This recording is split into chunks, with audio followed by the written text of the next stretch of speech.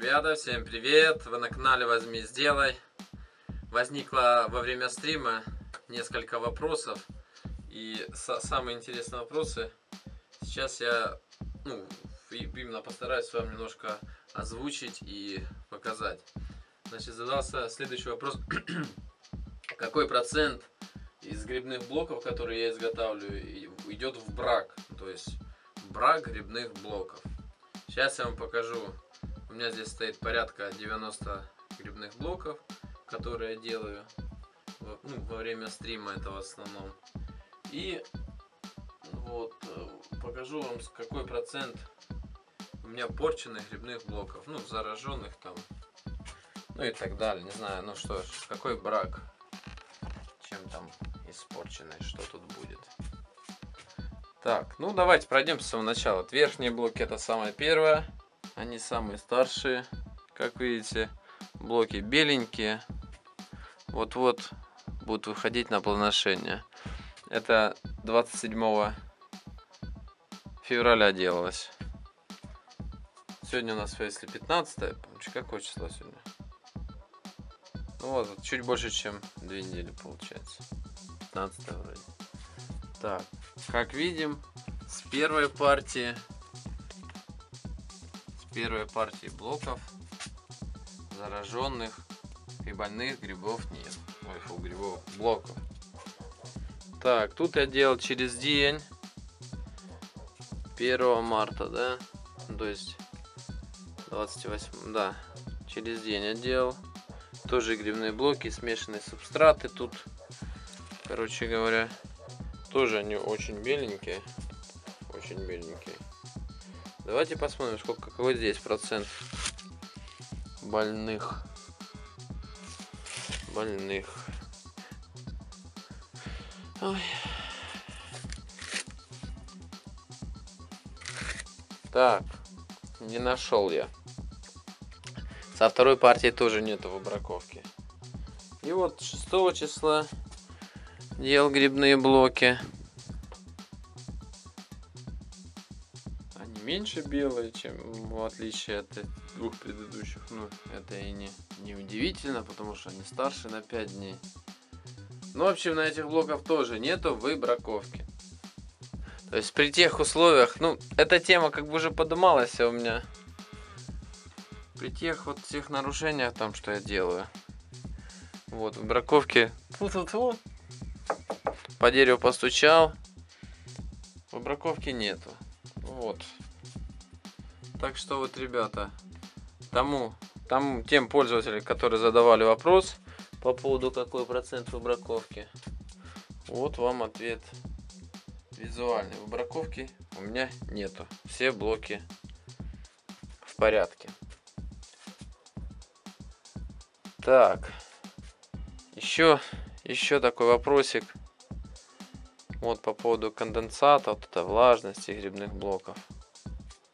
Самое идеальное, как по мне, самое идеальное, вот когда мы на блок смотрим, и под пленкой у нас большое количество скоплений на пленочке, большое количество скоплений капелек, это, это означать может только лишь одно, что это тот субстрат, который должен быть. Вот он просто, ну, я не могу его назвать, конечно, идеальный, но он просто тот, который должен быть. Давайте посмотрим, что у меня на дне. На этих блоках. Вот так сейчас выдвину его немножко. Что у меня тут на дне? Ничего. На дне все беленькое. На дно этот конденсат, который на пленке, он на дно не скатывается и ну, не знаю, кому-то каким-то э, этим грибоводом мешает конденсат, они что-то начинают мутить с этого конденсата. Что там мутить? Все, под пленочкой есть конденсат, это все четко, и все круто, и все классно. То есть этот конденсат будет потом грибам нашим давать влагу. Я так понимаю, это я уж простым языком это все вам объясню. Будет давать влагу нашим грибам, и грибы наши будут расти очень-очень хорошо. Так, влажность, да? Видите, у меня, у меня нету на, на дне никаких этих самых. Не. Я вот тут дырки не прокалываю в этих блоках. Вот оно у меня как есть, я ничего не делаю.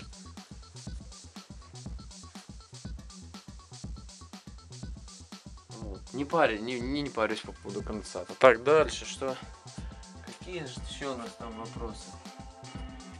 Так, ребята, пока тут у меня сейчас это помещение отыгрывает роль инкубатора, инкубатора, я, но меня просили рассказать немножко про вентиляцию, какая здесь вентиляция вообще.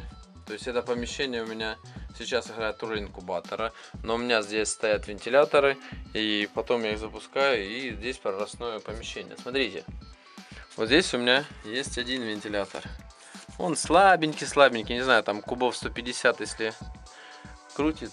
Это, кстати, те вентиляторы, кто, если долго на моем канале подписаны, это те вентиляторы, из которых я вытягивал те теплопредохранители. Вот они до сих пор, слава богу, работают. Значит, один вентилятор там стоит. Вот. Это приточный вентилятор. Один вентилятор здесь стоит. Но сейчас я его убрал. Сейчас я блок уберу. Это, ребята, специально для тех, кто ну, недавно подписался на мой канал и как бы не знает, что там у меня есть как бы эти все ролики. Вот и краткий обзор. Здесь стоит вентилятор и качает сюда воздух. Вот, два приточных вентилятора у меня стоят. Один в одном углу, другой во втором углу. То есть они работают одновременно и качают воздух, тут гоняют по всему, по, по всему помещению. Здесь стоит у меня, конечно, мощный вентилятор. Здесь на 200, там, 30 кубов чешу вентилятор, обычный бытовой. И еще одно отверстие у меня вот там вот. Блин, ну короче, в самом низу одно отверстие. И тоже обычно там стоял вентилятор у меня. Но сейчас я его оттуда вытащил. Вот. Вот эти два приточных вентилятора нагоняют в помещение воздух. И по ходу вот делается, короче, какое-то давление, и оно, я просто подставлял туда руку, оно там выдавливается, без всяких вентиляторов этот воздух уходит. Так что оттуда я вытащил вентилятор. Вот, и, про, и еще один вентилятор я оставлю просто по помещению. Ну, блин, я же говорю то, что сейчас я убрал отсюда эти вентиляторы. Вот, по помещению у меня просто циркуляционный по помещению, тут тут, и он его постоянно гоняет воздух, чтобы сбивать самой, самих грибов, самих, э, блин, как они там, ну сначала с примордии, потом, естественно, из этого, самих грибов, светочек.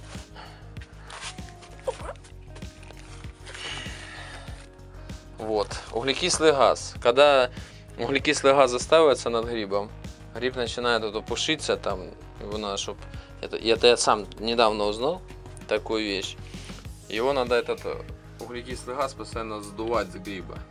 И вот он, когда рецирк... рециркулирует воздух по помещению, просто делается движение воздуха. То есть гриб, грибы растут, кстати, нормально, получше. То есть был вопрос у меня, какие там красивые грибочки. Вот. Так, сейчас еще быстренько пробежимся по отоплению. По отоплению, ребят, у меня здесь теплый пол и вот такой, вот такой самодельный радиатор. Самодельный радиатор сейчас не работает. Он у меня сейчас отключенный. Сейчас у меня здесь в помещении греет только теплый пол. На улице сейчас, ну, по ночам тут заморозки бывают, но теплого пола мне хватает, чтобы как бы подогреть вот так. Ну, вам не будет видно, я сейчас скажу. Ну, 19 градусов сейчас здесь плюс. Вот, но печку я растопил вот недавно. О, немножко про температуру, хоть уже сто раз об этом говорил. Значит, про температуру. Сейчас вот 18, наберется она там до ну, 18-19, наберется она до 20, может до 22 градусов. А потом это все опять может упасть. Вот сегодня заходил в помещение, ну, днем, еще печка, ну, то есть она ночью топится, последний раз там под, подбрасывается 12 часов ночи примерно. Все, а потом вот постепенно печка потухнет и постепенно остывает. Днем, значит, было 15 градусов, это перепадом температуры. Есть, да, падает так температура и теплый пол, значит, сейчас справляется с обогревом. То есть, если сейчас включу этот радиатор, то здесь вообще будет жарище до 30 градусов наберет, она никому не нужна. И параллельно сразу скажу про увлажнение. То есть это вот сейчас здесь не сильно важно увлажнение, я понемножку здесь увлажняю. Смотрите, теплый пол у меня. Ну, сейчас, вот, кстати, да, я хотел, сейчас тут 18 градусов написано. Сейчас я положу на теплый пол градусник. Ну, я так скажу образно говоря, то что он у меня не теплый, по сути, он у меня горячий. Вот там, что в отоплении набирается температура, сколько там, 70 градусов или сколько. Вот. Сейчас немножко про увлажнение скажу. Нет у меня тут не этих самых. Увлажнение в моем грибном помещении производится вот, вот в такой способ. Ребят, сейчас буквально минут, не знаю, там за 20 это все, ну, горячий, горячий теплый пол возьмет это все, испарит, испарит, и тут сразу будет повышаться температура, ну, влажность. Вот, вот это у меня увлажнитель воздуха, вот такой вот. И когда грибы растут, вот это, я не знаю, самое четкое увлажнение. То есть пришел, ну не знаю, пару раз в день, раза два-три полил, пол, оно испарилось, и все классно. Ну, другое дело, когда вот пол холодный, да, поливаешь, ну, в принципе, так, смысла здорово там не навлажняешься. Вот такой способ. Вот вообще шикарно. Так, где тут что у меня термометр? сколько тут секунд прошло. Ну вот он лежит сейчас на полу, показывает 25 градусов.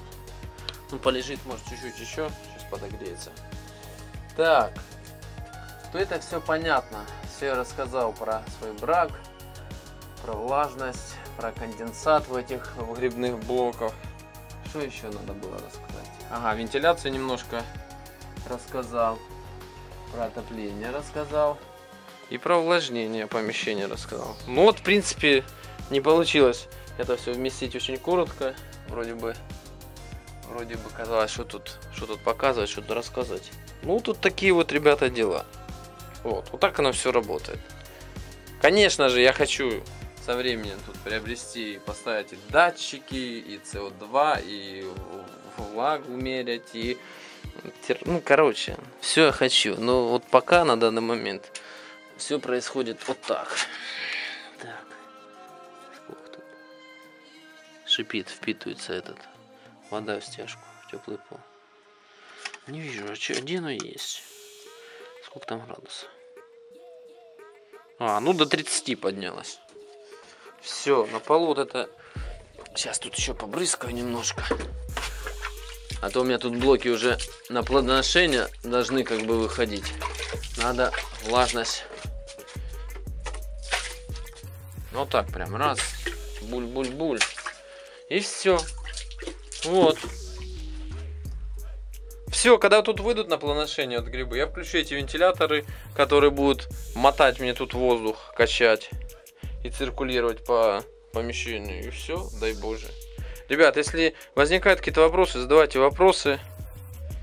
Буду, буду рад вам ответить на них. Надеюсь, видео вам было полезным и познавательным. Ну, тем, кто уже давно подписан на мой канал, может и вы, вы найдете схожесть на, по видео, то что я повторяюсь, да, ну, опять же, те, кто новые подписчики приходят, как бы задают одни и те же вопросы. Вот вот свеженький, значит, такой обзорчик сделал по помещению. Это сейчас оно мне... Это помещение у меня как бы инкубационное и выросное будет. И потом, потом попозже я немножко расскажу про выводы, сделанные ну, по помещениям. То есть, как вот разделяться помещение, разделять одно инкубационное, другое для выгонки грибов. Своим мнением поделюсь. Ну все, что, ребят. Все, давайте, всем пока, подписывайтесь на канал, ставьте лайкосики. До встречи в новом видео.